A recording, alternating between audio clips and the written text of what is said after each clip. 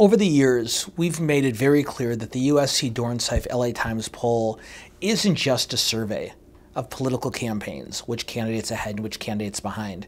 We want to reach further and we want to reach deeper. We want to get, develop a better understanding of what Californians think about the real world issues that impact their daily lives.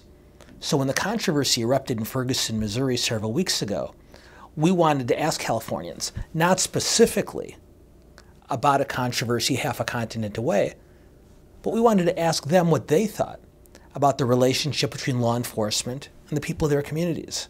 And the findings were fascinating. And the basic finding is that the police, at a time right now of steadily declining crime rates, um, are very popular. Uh, more than four in five voters in California um, approve of the way uh, the police do their job. They say they have a tough job and they do it well.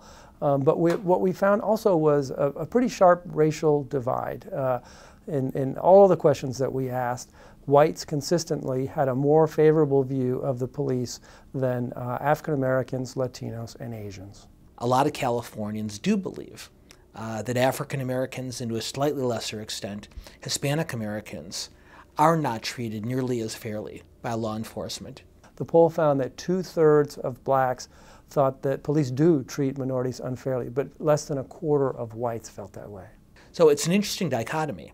On one hand, Californians give their police and their law enforcement pretty high marks, but they also recognize that while progress has been made, there's still a lot of work that needs to be done to continue to improve relationships between law enforcement and minority communities in particular.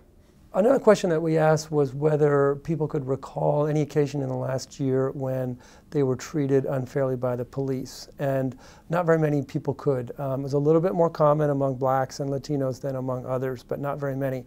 And then the same question on whether someone, uh, someone's family member or their friends have been treated unfairly by the police, it was no. But um, about two thirds across the board in every group said that they knew of occasions when, um, when people were treated unfairly by the police. So usually when you do public opinion polling, people are driven, in terms of their opinion, almost completely by their own personal experiences and the experiences of people around them. If you've had a bad experience with healthcare, if you've had a particularly good experience with your children's school, then that's the way you answer the question. But on this question, voters were able to draw a distinction between their own personal experience and problems that they've heard about or read about that others have faced. And just because the problem hasn't faced them personally didn't mean they weren't concerned about it.